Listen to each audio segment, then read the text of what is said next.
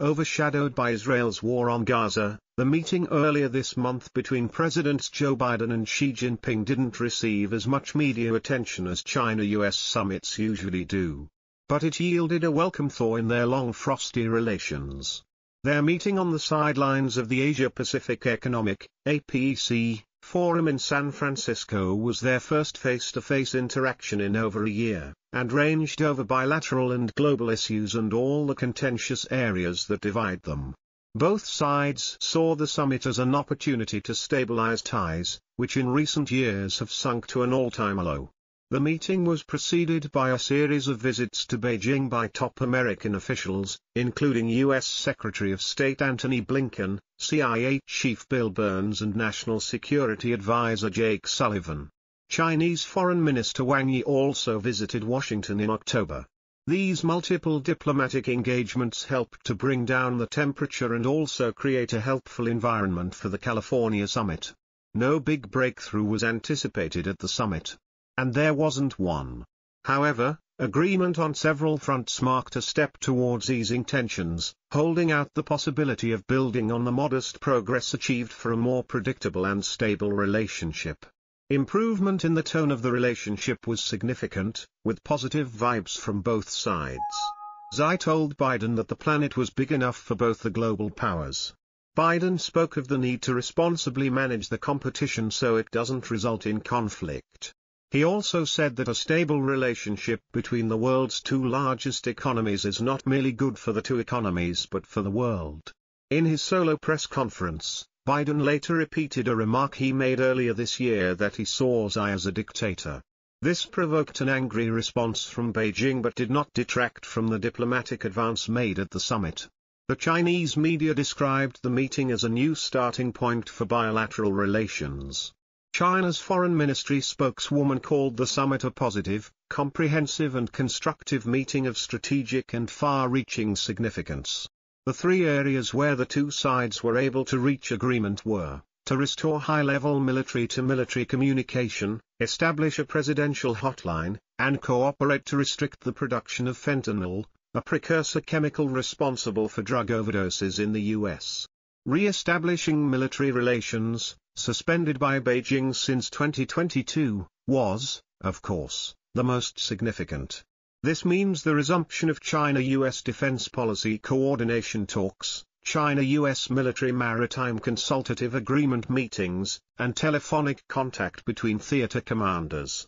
If implemented without hurdles, this should help to reduce the risk of miscalculation, especially given the fraught situation in the South China Sea, where both sides have air and naval deployments. The future trajectory of this critical relationship has far-reaching repercussions for the world. The agreement on counter-narcotics involved China's commitment to check the production of fentanyl precursors to prevent their ending up with drug cartels and contributing to America's drug problem. Biden is reported to have conveyed his appreciation for Xi's commitment, while also saying he would trust but verify Chinese actions in this regard. The creation of a counter-narcotics working group is expected to coordinate these efforts. Cooperation in these areas and the mutual desire to strengthen communication channels may help to halt the slide in China-US relations. But while the talks were said to be wide-ranging and also covered the wars in Ukraine and Gaza, the summit didn't see differences between the two global powers narrowing over the major issues and disputes that drive tensions in their strategic competition, Taiwan, trade, technology curbs and military postures. Indeed, both sides used the summit to again spell out their positions and red lines on Taiwan. Xi told Biden to cease arming Taiwan and reiterate that reunification was inevitable. The Chinese Foreign Ministry readout later said Beijing expected the U.S. side to now follow through on its statement of not supporting Taiwan independence and support China's peaceful reunification. Biden called for restraint by China on Taiwan while reiterating U.S. support for its One China policy.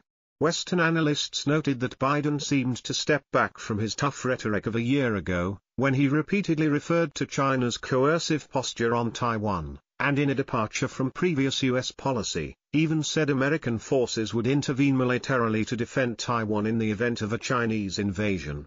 Taiwan, however, continues to be a dangerous flashpoint in the China-US confrontation. This was laid bare earlier this year when there was a near collision in June between a Chinese warship and a United States Navy guided missile destroyer. This underscored what the international community has long feared, an inadvertent drift into a conflict that neither side wants but may be unable to avert in a region bristling with heightened military activity. Thus, the renewal of high-level military contacts acquires importance in enabling the two countries to reduce the risk of a full-blown crisis or conflict. US-China competition has also intensified in the area of technology. Washington is engaged in a battle to maintain supremacy with an intense chip war underway. A year ago, it imposed sweeping measures to bar American companies and allied countries from exporting chips and advanced chip equipment to China to cripple its semiconductor industry, which manufactures chips and circuits for modern electronics ranging from supercomputers and smartphones to automobiles. Despite the fact that these sanctions proved to be counterproductive, last month the US tightened restrictions on exports of advanced computer chips to retard China's efforts to develop artificial intelligence. The US justified the new curbs as aimed at limiting China's use of these for military purposes. Beijing slammed them as a violation of the principles of fair competition and designed to thwart its technological progress. Given unresolved differences on these and other contentious issues in their strategic rivalry, the San Francisco summit represents a tentative melting of the ice between the two superpowers, but little more for now. It suggests that in the months ahead, the focus of the relationship will be on crisis management. Nevertheless, the effort at de-escalation comes as a relief for the international community increasingly concerned about a confrontation that has far-reaching repercussions for the global economy and world stability.